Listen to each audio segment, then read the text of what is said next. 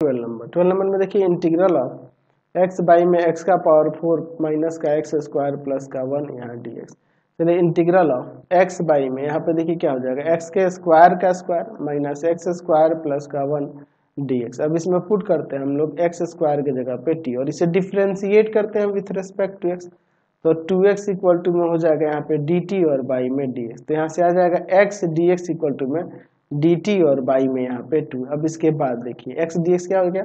D T by two हो गया। और यहाँ पे वन बाई में, इसके जगह पे हम लोग टी रखने वाले हैं ना तो टी स्क्वायर माइनस टी और प्लस का वन चलिए तो आप इसे अब ऐसे लिख सकते हैं कि नहीं यहाँ हो जाएगा। One by two integral of one by t square minus का टी और प्लस का वन टी अब इसके बाद इसका फैक्टर करते हैं। T square minus t plus one है ना जी? तो देखिए टी का स्क्वायर माइनस टू इंटू में टी इंटू में one by two one by two का स्क्वायर ऐड करते हैं और एक बार सब्ट्रैक्ट कर देते हैं और फिर प्लस में वन तो यहाँ से यहाँ ये फॉर्मूले पे सेट हो जाएगा।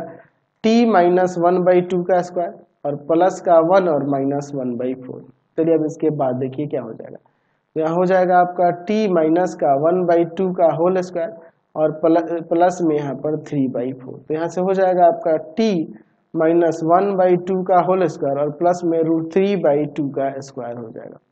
चलिए तो अब देखिए क्या हो जाएगा। One by two integral of one by यहाँ पर हो जाएगा t minus one by two का स्क्वायर और प्लस में रूट थ्री बाई टू का होल स्क्वायर और यहाँ पर आपका टी हो जाएगा। चलिए अब इसके बाद हम लोग देखते हैं क्या हो जाएगा फॉर्मूला तो यहाँ पर one by a square plus x square के फॉर्म में है, टेन बस वन लग जाएगा।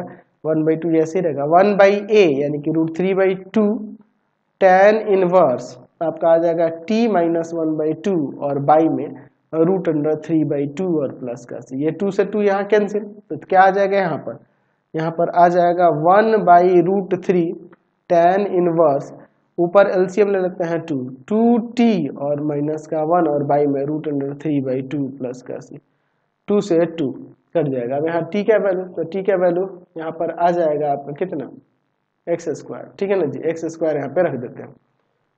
तो one by root three tan inverse two x square minus one और बाई में रूट थ्री और प्लस में सी ये आपका आंसर है चलते नेक्स्ट क्वेश्चन पे। Next question